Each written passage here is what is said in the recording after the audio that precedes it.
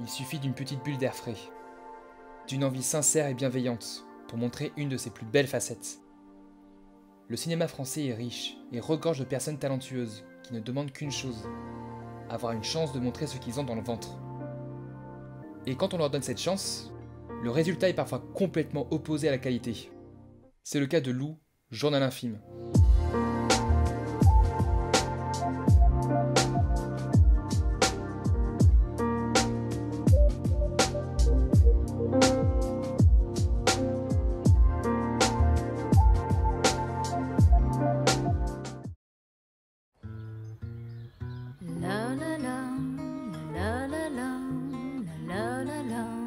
La douce mélodie d'une jeune mère nous plonge dans un cocon de tendresse. Des polaroïdes souvenirs s'accouplent à des couleurs vives. Dès l'introduction, le ton est donné. On nous invite à découvrir un monde fantaisiste, merveilleux, et surtout d'une douceur sans faille. Quelque chose d'amusant et de réconfortant. Je connaissais pas trop l'univers de Lou, à part quelques planches de la bande dessinée et quelques passages de la série télévisée. À première vue, je me voyais un univers plutôt niais, innocent, inoffensif, mais assez enchanteur aussi. Je n'étais pas forcément le public visé, et quand j'ai vu les retours concernant le film sorti en 2014, ma curiosité s'est vite dissipée, pour laisser le film au cœur des limbes des œuvres inconnues. Six ans plus tard, je pose mes yeux sur ce film, après la recommandation d'une amie, et en à peine 1h40, j'ai été conquis de A à Z. Et je n'arrive pas à comprendre comment ce film n'a pas pu rencontrer son public, pourquoi a-t-il reçu autant de critiques négatives et pourquoi est-il resté dans l'indifférence alors qu'il avait tout pour réussir? Tout pour tirer son épingle du jeu et surtout redorer le statut des adaptations de bande dessinée au cinéma.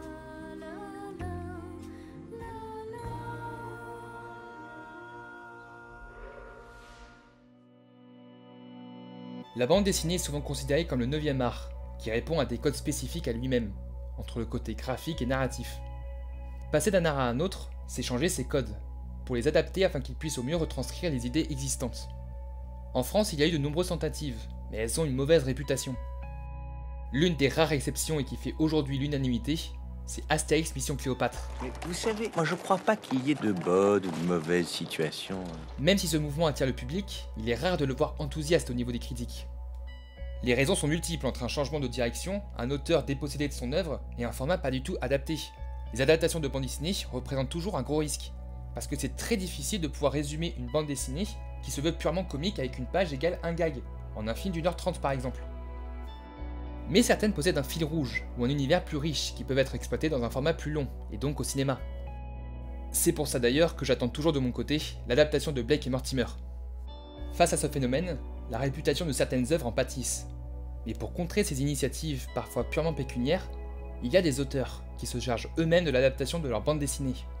On pense notamment à Enki Bilal, à Pascal Rabaté, et aujourd'hui à Julien Nil. À la base, moi, le, cinéma, c'est quelque chose qui m'a toujours intéressé. Euh, même avant de faire de la bande dessinée, enfin, c'est toujours un truc que j'avais en tâche de fond, et une envie et tout ça. J'ai fait de la bande dessinée, ça a bien marché, etc. Et un producteur est venu me voir pour me proposer de faire une adaptation au cinéma de ma bande dessinée. Donc ce que je lui ai proposé, c'était euh, de le réaliser moi-même. Il s'appelle Harold Valentin, et il s'est associé avec Bruno Lévy. ils ont eu un énorme courage de me faire confiance euh, pour que je fasse moi-même cette adaptation. C'est en 2004 que Julian Hill se fait connaître avec sa première œuvre, Lou Journal Infime. Autour de 8 tomes formant la première saison, il dépeint la vie colorée et pas vraiment évidente d'une jeune fille de 12 ans. Ses mésaventures au collège, son rapport avec les garçons et la complicité qu'elle entretient avec sa mère forment un cosmos assez unique et plutôt rafraîchissant dans l'univers de la BD. En 2009, l'adaptation en série animée voit le jour. Julian Hill en est le directeur artistique, mais, à confirmer, n'aurait pas eu un énorme droit de regard sur la portée et la production de la série. Pour rattraper cela et toujours intéressé par le 7ème art, Julian Neal se lance dans l'écriture et dans la réalisation du film, adapté de son œuvre.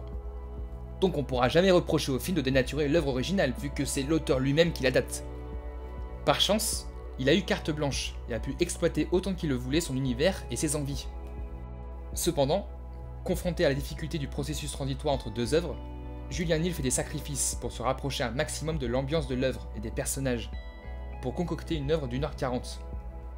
Le film sort en octobre 2014 et malgré de retours publics plutôt positifs, il se fait déchirer par la critique et devient un flop au box-office. Un destin complètement injuste. Parce que Lou Journal Infime est un film qui fait du bien, que ce soit pour le paysage du cinéma français, mais aussi pour les spectateurs. Dans une ville inconnue aux attraits fabuleux, vit une jeune fille se nommant Lou. À la fois imaginative, rêveuse et espiègle, elle cohabite avec sa mère, qui malgré son côté maussade et paresseuse, forme un foyer chaleureux et chatoyant, avec ses couleurs vives, ses nombreuses créations étranges et ses collections de vieux objets. Focalisée sur le bien-être de sa mère et sur le garçon qu'elle aime, Lou vivra de nombreux tumultes, et essaiera tant bien que mal à parvenir à ce que tout fonctionne. Le film retrace le parcours de Lou dans l'adolescence avec ses rencontres, ses attentes, ses moments de bonheur et d'insouciance, mais également ses désillusions. Derrière cette histoire pour le moins simple et niaise, se dévoilent quelques ingrédients cachés pour permettre au film de dépasser son statut de simple adaptation. Julien Nil respecte son œuvre et les codes cinématographiques pour l'emmener vers une autre direction.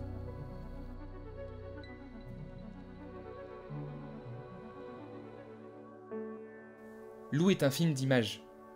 Je dirais même un film de technicien. Ce n'est pas péjoratif, surtout que ça ne délaisse pas son scénario, car la technique va justement accompagner la narration pour former un tout cohérent et rafraîchissant. On avait pu le voir avec Zack Snyder, qui était fortement influencé par l'art graphique des comics et les storyboards, et on retrouve cette même sensation. La direction artistique et la réalisation ont une touche bande dessinée dans l'image, que ce soit dans sa lumière, sa composition, ses couleurs, ses décors, ses costumes. Chaque département a su exploiter tout leur potentiel pour retranscrire un univers complètement en dehors du temps. Regardez ce travail, le sac de loup, ses costumes bariolés, l'appartement à la décoration bigarrée, même les perruques ont demandé un soin particulier pour les acteurs. Le film est une vitrine à la création artistique, et on peut qu'en prendre plein les yeux. C'est une des raisons pour lesquelles j'aime ce film. Personnellement, je peux être très réceptif à une œuvre quand on me la montre bien. Le fond guide l'œuvre, mais la forme est souvent délaissée, alors qu'ici, elle retranscrit au mieux à la fois l'univers de Lou, mais également le propos du film. Moi, c'est vraiment le meilleur souvenir. euh, enfin, la- surtout de l'ensemble de ces trois ans, c'était la période du tournage. Et Il y avait une super ambiance. On avait, on avait vraiment réussi à créer. euh, ça a été tourné en studio à Brie-sur-Marne et un petit cocon dans lequel, euh, euh, bah, que ce soit avec euh, les artistes, les techniciens, euh, les comédiens, tout ça. Un truc super agréable. on était entre nous dans notre petit truc et on jouait dans notre boîte à jouets. c'était vraiment ça. À une époque où on privilégie le scénario et le comique dans ce type d'adaptation, avoir une direction artistique aussi riche fait du bien. Le but de Julian Neal et de son équipe était de nous plonger dans un monde imaginaire et irréel. Cela se présente comme un mélange entre le néon-futuriste à la Blade Runner, la culture pop rétro colorée et japonaise, mais également par les univers de Jacques Tati, de Michel Gondry et Quentin Dupieux. Un melting pot des genres et des cultures qui offre une dimension unique au film. Résumé en deux scènes. La première, la malle de la honte, Métaphorique dans la BD, elle devient un mini-cosmos extérieur, rempli de coussins et de peluches. Un lieu apaisant et calme pour extérioriser ses émotions fortes. La deuxième, c'est l'exaltation de l'esprit créatif de la mère avec Sidera. La séquence animée est digne des meilleurs animés japonais, et même plus proche de nous avec Last Man. Regardez cette série, bordel Elle montre que la mère s'épanouit pleinement grâce à sa passion et à son imagination, des séquences animées intenses qui donnent clairement envie d'avoir une série plus longue. Pour revenir de manière plus précise sur la photographie, ce qui en ressort, c'est sa maîtrise. On ressent, comme on a dit, l'influence de la BD, dans son respect des perspectives, sur la règle des tiers et de la symétrie, ou encore sur sa profondeur de champ. La petite ville dont le nom est même pas cité, où aucun repère spatial n'est donné, regorge de petites trouvailles visuelles, mais ce qui m'a le plus marqué, c'est la séquence dans le lycée. Seul décor réel utilisé, car les autres ont été faits en studio, la couleur grise prédomine. Le lycée n'est pas l'endroit favori de Lou et de ses amis. Malgré cette cassure en termes de couleur et pour montrer son mal-être, Pierre Milon use des perspectives de la course focale pour isoler ses personnages et garder la dynamique de monde à part. Même dans un lycée, les personnages sont en dehors du temps. Une photographie peu conventionnelle et audacieuse qui montre à quel point Pierre Milon a pu s'amuser avec la caméra. Là où le film réussit également, c'est sur l'atmosphère musicale. Il n'est pas question de faire une comédie qui va à mille à l'heure avec des musiques drôles et dynamiques. Tout est une question d'ambiance et de décalque des sentiments. La musique est douce, inspirante, mélodieuse. Elle contribue à cette tendresse que veut partager le réalisateur.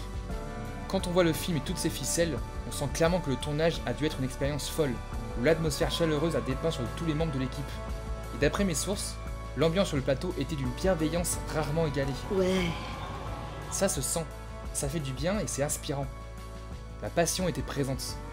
Sur tous les plans techniques, Lou Journal à film est rafraîchissant pour le cinéma français. C'est une ode à la créativité et à l'imaginaire, où chacun d'entre nous peut s'identifier. Julian Hill maîtrise son sujet et son univers pour apporter une immersion totale.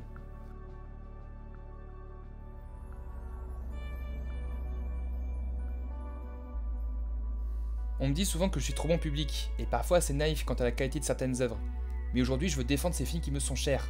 Mais ils ne sont pas dénués de défauts. Au premier abord, Lou manque une certaine dynamique rythmique. On sent clairement que le film est divisé en deux et son histoire reste assez niaise. Mais jamais elle ne sera simpliste ou dénuée de sens. Ce film parle à l'adolescent qui sommeille en nous, en montrant ses bons et ses mauvais côtés, sans jamais tomber dans l'exagération narrative. Enfin, sauf pour la danse de la joie. Et encore, cette scène est logique. Ils traduisent physiquement les émotions qu'ils ressentent à cette période de l'histoire. Le bonheur est à son paroxysme. On a tous fait une danse de la joie après un succès, et ici, pour garder une dose déjantée, elle s'incarne par une danse orientale parsemée de petites bulles. Je me rends compte que j'adore chaque élément de ce film. Même s'il condense les quatre premiers tomes de Lou, le film reste très fidèle au support d'origine sur ses personnages attachants, son univers qui baigne dans une profonde tendresse et ses thématiques emplies d'empathie. Ce film procure un sentiment de joie, et on en a vraiment besoin aujourd'hui.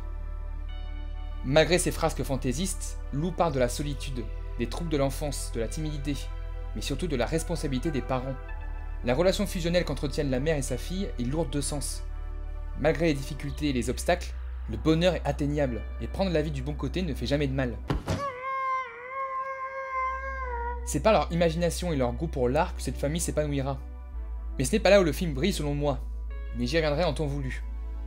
Lou montre la vie de sa protagoniste à travers des étapes importantes de sa vie, qui ne sait plus où donner de la tête tellement elle est excentrique et rêveuse. Mais jamais il ne sera fait mention d'un retour sur la terre ferme, mais justement d'assumer ce côté un peu lunaire, car c'est ce qui fait notre personnalité. Il faut écouter l'enfant qui est en nous, ne pas l'écarter, sinon la vie sera morose, comme le montre si bien la grand-mère. Bon, ça me permet de faire la transition sur les acteurs. Même s'ils sont tous très bien choisis, il y a quelques fausses notes, surtout chez les enfants. Chose acceptée en bande dessinée et pas forcément au cinéma, ce sont les dialogues. Leur précision et leur lyrisme sont assez difficiles à transmettre pour des jeunes acteurs. Ils sont très bien écrits, mais de la part d'enfants, cela fait un décalage un peu désagréable. On ressent un côté trop adulte, assez artificiel dans leur diction par moments. Après, c'est loin d'être facile, vu que Lola Asron, qui incarne parfaitement Lou, porte tout le film en tant que narratrice. On est plus à même de ressentir les fausses notes. Malgré le côté un peu stéréotypé des personnages, ils restent tous attachants à leur manière, on ressent clairement qu'ils vivent dans un autre monde. Mention spéciale à Lily Tayeb, qui incarne une Marie Emmanuel à la perfection. Elle joue à fond la gothique rebelle cliché pour devenir, mais juste, hilarante. On a justement reproché à l'œuvre que les personnages étaient caricatureux et clichés. Je l'ai pas ressenti comme ça, et c'est pas parce que c'est cliché que c'est mauvais, loin de là. Un cliché bien utilisé devient un élément narratif efficace. Pour le coup, ici, ça fonctionne. Surtout que j'ai vraiment ressenti que les acteurs se sont amusés, et qu'ils ont apprécié ce tournage. L'alchimie se ressent entre Ludivine Sagné et Ken Kojandi. Les enfants s'éclatent, en particulier dans la séquence du laser tag, qui va être centrale dans mon analyse.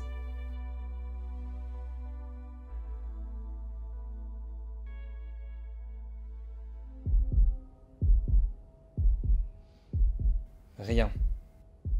Un vide. Un manque. Ce n'est pas normal. Lou a tout ce qu'elle souhaite. Son entourage est heureux, alors pourquoi avec Tristan, ça ne marche pas? On touche à mon sens le message le plus fort du film. Lou a une imagination débordante. Plongée dans ses rêveries, elle essaie de tout calculer, d'anticiper chacune de ses idées pour qu'elle puisse parvenir à sa quête du bien-être.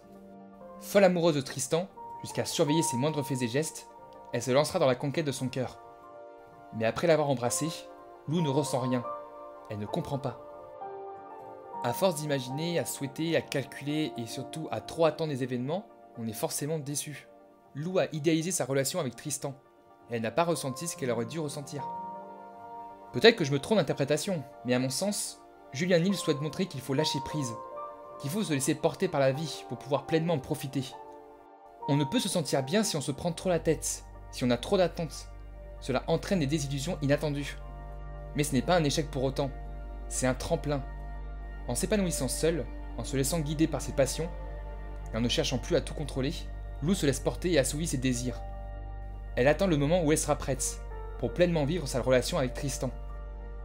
Je trouve ce message très symbolique, très important pour les enfants comme pour les adultes.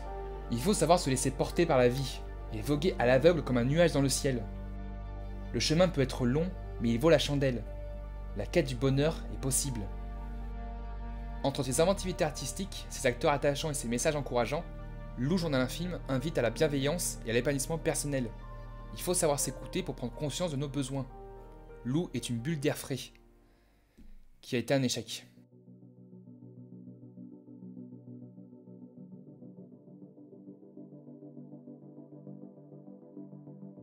C'est un premier film.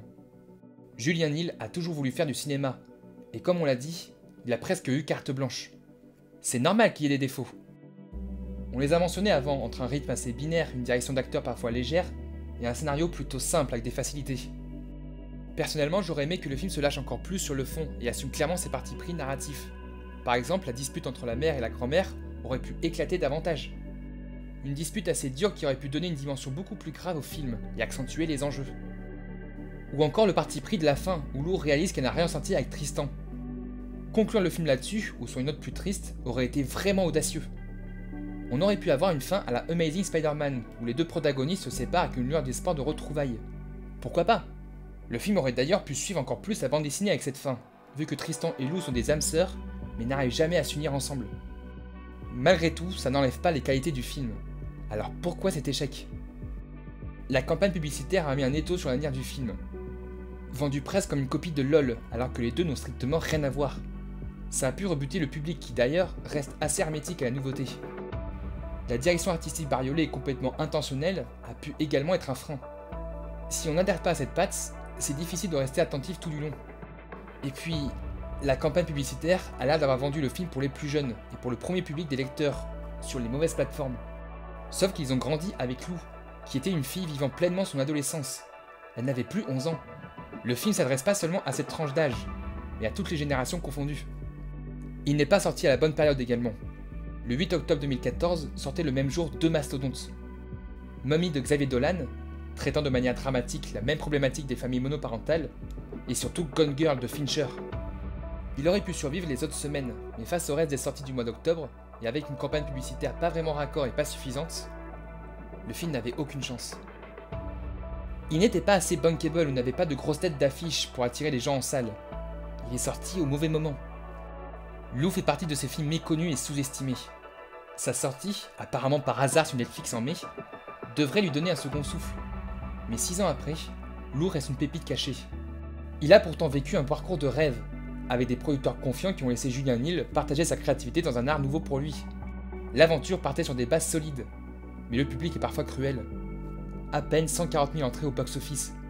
Il est crucial de soutenir ce genre de proposition, surtout au vu du contexte actuel où les salles meurent à petit feu. Les films indépendants et au budget plus minime ont besoin de nous, car ils nous apportent de la nouveauté et un vent de fraîcheur. Cela fait 6 ans que le film est sorti. Aucun projet de suite n'est prévu. On peut y voir de l'amertume pour les fans du film, voire même pour l'équipe, mais sous un certain degré, on peut y voir une sorte d'accomplissement. L'équipe, le réalisateur, l'actrice principale et les autres acteurs ont accompli ce qu'ils ont voulu faire.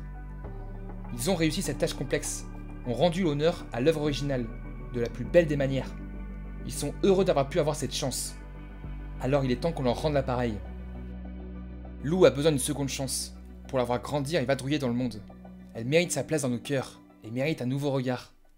Regardez ce film, et n'oubliez pas, aimez les films que vous aimez.